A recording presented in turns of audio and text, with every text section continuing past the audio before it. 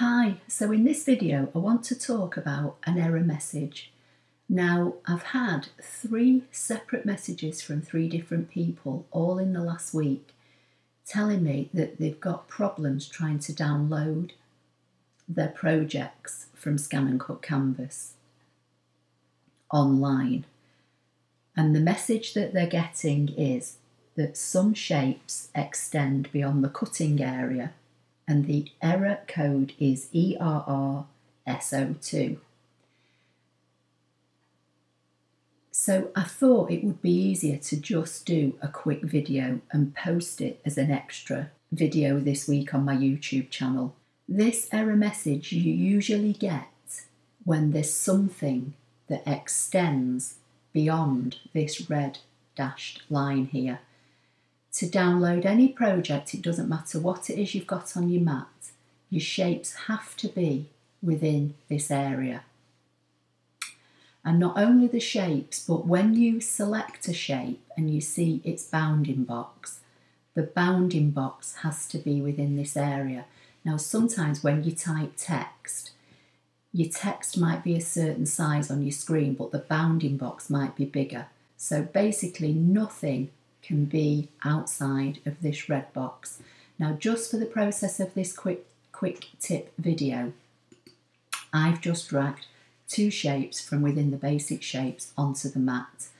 And all as I'm going to do now, you would normally, you know, either give it a project name here and save it. It's entirely up to you, or you might not want to save it. You might just want to do something and download it. Irrespective, once you've got your shapes on your mat, you'd hit your download button. And this is the message. This means that there is something else that's beyond this mat, and that is stopping Canvas from downloading these shapes. So, what you have to do, that's the main reason. What you have to do is click the down arrow until you can go as low as you can go, which is 25%. If you've got this bar open here, close that to give yourself more room. And what you want to do is somewhere up here in the top left hand corner, click somewhere up here with your mouse, left click and drag an imaginary box right across your page as much as you can cover. And while you're still holding it down, you'll see that the shapes on your mat have got a blue dashed line around them.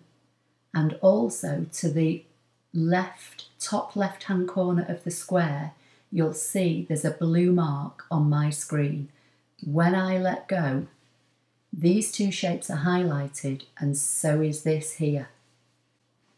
And if you zoom in on this, you'll see it's a node.